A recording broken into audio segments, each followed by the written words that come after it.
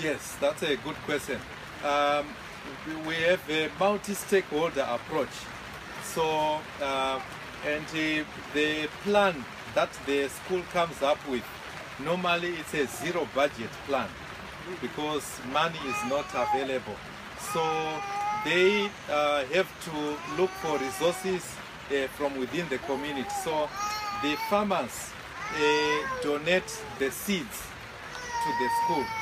Uh, but uh, the, the, the, you, you have some resourceful farmers that still have some traditional seeds, for example, and that have a, a wider range of seeds. So they donate uh, these seeds.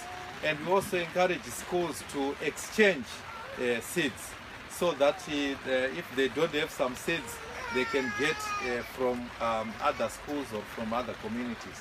So it's all through uh, seed exchange and seed donations uh, to, to the school. And that's how so they start by growing what is locally available. And over time they can enrich the food forest by getting things from other places. Yes. With all zero budget, how how do people actually step up to do something? If doing water harvesting, anything? Like how? Yes, um, yeah, that's an important question. Now, we uh, in, in our uh, communities, 80% of the people are, are in farming.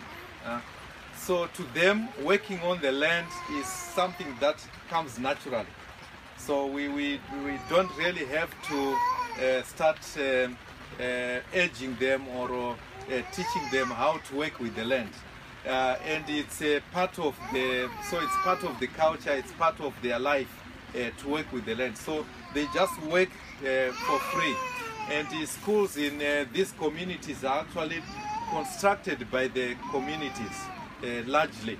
Uh, the, for example, the bricks that are used to construct the schools, the communities just uh, uh, uh, make the bricks on their own, nobody's paid, and they do that. So working on the land in the school is just uh, something they do without expecting payment. So it's and it, so digging swales and um, uh, everything is just done by the community itself, the school community itself.